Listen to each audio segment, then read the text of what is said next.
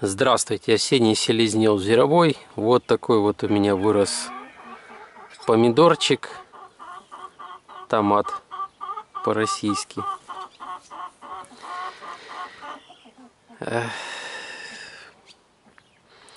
Значит, у него я поливал его, ну, может быть, пару раз, не знаю, где-то так вот.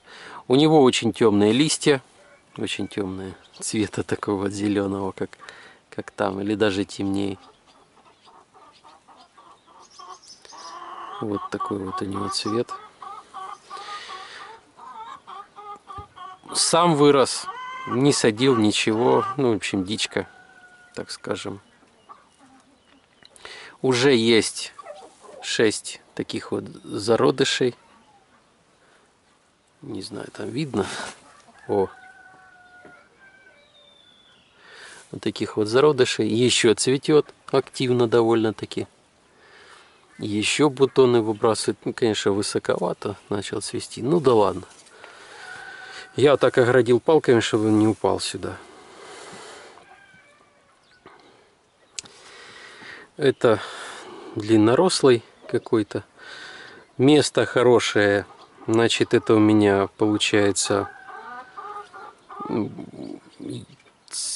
юго-востока восток. То есть больше на восток, чем на юг. С утра только светит солнце, а в остальное время нет. И до самого заката. С утра, сейчас скажу, сколько у нас. 8.57. Вот по нашему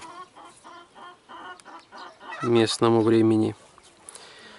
Так что вот такие условия для помидоров можно сказать, идеальные. Когда с утра солнце.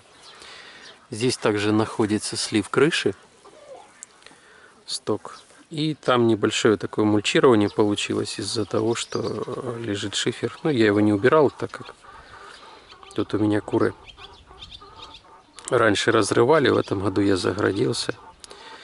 И э, доступа сюда нет. Если вам интересен такой опыт, в общем, 8.57 у нас солнце уже довольно высоко. Где-то к 10 часам отсюда солнце полностью убирается. Вот, кстати, вот видно, уже оно начинает уходить. Тень находит. И дальше тень. То есть вполне интересный такой вот э, интересный режим соляризации и э, полива.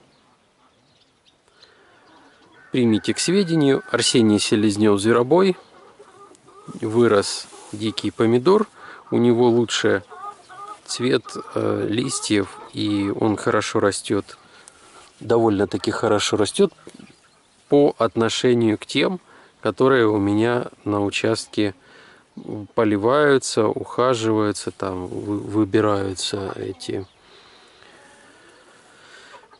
отрываются пасынки,